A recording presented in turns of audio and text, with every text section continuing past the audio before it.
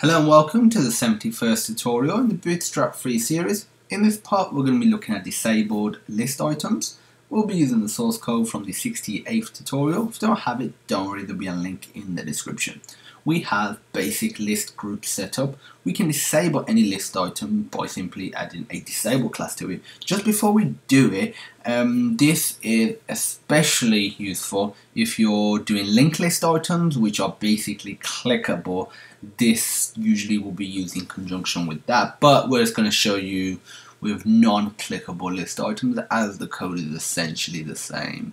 So if you just scroll down to wherever you got a list item so I want I don't know this one to be disabled and to do that you literally just put a class of disabled.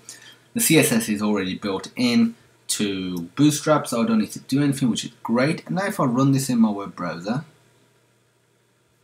Scroll down, as you can see, it is disabled. Even though the others aren't clickable as well, this is clearly different. It's grayed out, and when I hover over it, get a little circle with a line through, it, which is a universal icon stating that this either can't be clicked or it's not accessible.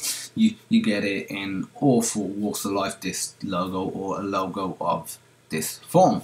The next tutorial will cover styling list items. If you have any questions, feel free to message us at support at sonarsystems.co.uk or the required source code will be in the description. To see over 800 completely free videos just like this one, visit sonarlearning.co.uk. Sign up today for free and you will be able to create private notes against any video. And as usual, thank you for watching and I hope you have a great day.